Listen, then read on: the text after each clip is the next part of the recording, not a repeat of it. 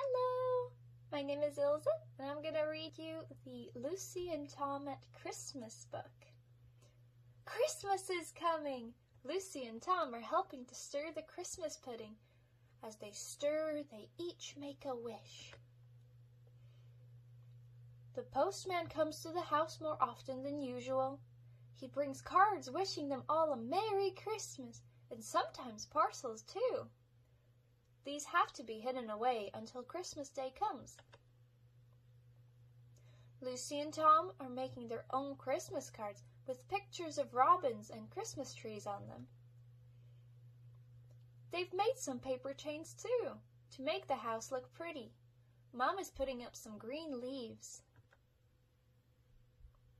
On the hall table, they've put a crib with Mary and Joseph and baby Jesus, the three kings, the shepherds, and a donkey and a cow.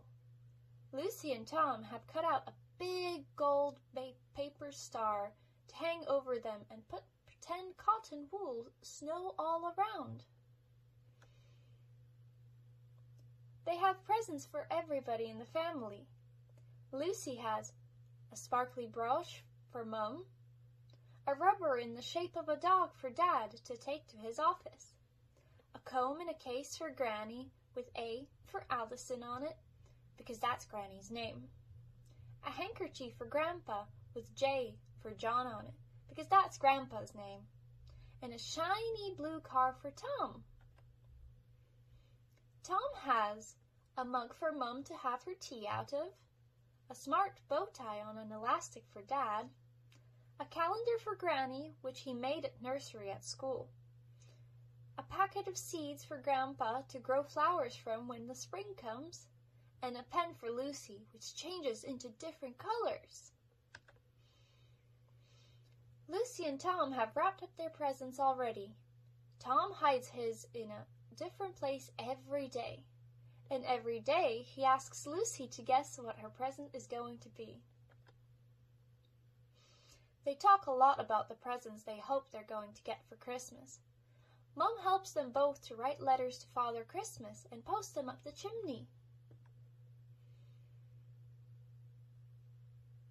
There's a knock at the door. Some big children have come to sing carols. One afternoon, a band comes to their street to play Christmas music. Lucy and Tom run out to watch. They know some of the tunes. They can sing Silent Night, Away in a Manger, and Once in a Royal David's City. Lucy and Tom go to the market with Dad to choose a Christmas tree. There are crowds of people. The lights are shining out and the shops and stalls are full of exciting things. Christmas Eve has come at last. Dad gets home early and together they hang all sorts of pretty glittering things on the tree. Then they arrange the parcels underneath it.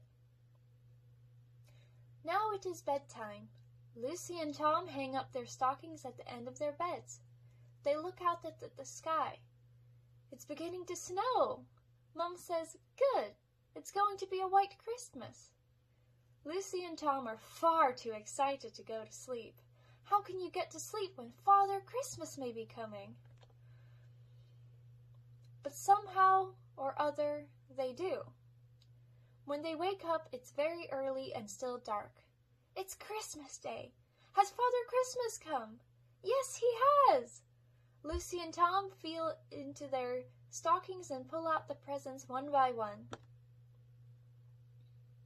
Lucy and Tom go along to Mom and Dad's room to show them what Father Christmas has brought, but it's a bit too soon for them yet. Imagine not wanting to wake up early on Christmas Day. Lucy and Tom go back to their room and play with their new toys. Now Mum and Dad have woken up. They all hug each other. Christmas has really begun. After breakfast, they look out. It's white everywhere and very cold, but the sun comes out as they walk to church. When they are at home again, lots of people arrive. Granny and Grandpa, Granny's old friend Mrs. Barlow, who lives all by herself, Auntie Jill and Uncle Rob, and their little baby, Elizabeth. That's ten people for dinner. everyone helps to get it ready. They all sit down round the table to eat roast turkey, Christmas pudding, and lots of other delicious things. Afterwards, they pull crackers. There are some loud bangs, but Mrs. Barlow doesn't mind a bit. She says she doesn't hear as well as she used to, and she just smiles and smiles. After everything is cleared away, Lucy and Tom give out a present for everyone from underneath the tree. What a lot of surprises! Elizabeth only likes the wrapping paper on her present. She goes off to sleep in the middle of it like a hamster. Christmas can be quite tiring. Tom gets very excited about his presents and rather cross. So he and Grandpa go for a walk together in the snow. Just the two of them. The sun is very big and red. When they get home again, all the family sit around the fire and play heads, bodies, and legs. The first person draws a head and folds over the paper. The next person draws a body. The next person draws some legs. And the last person chooses a name. When they're all finished and the papers are opened out, there are some very funny looking pictures. Lucy calls her person Uncle Rob, and Tom calls his Father Christmas. Now it's time to light the tree. On earth's peace, goodwill toward men. It's dark outside. The lights shine out into the street. Merry Christmas, Lucy and Tom. Merry Christmas, everyone. Wasn't that lovely? I really enjoyed it. I hope you did too. And I wish you a very Merry Christmas. Bye!